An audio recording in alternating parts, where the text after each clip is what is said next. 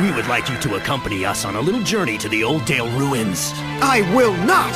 I'm sorry, Professor Alden. When the power went... Oh! Oh! Well now, Professor, would you like to change your mind? Hmm, yes, all right. I'll go with you then.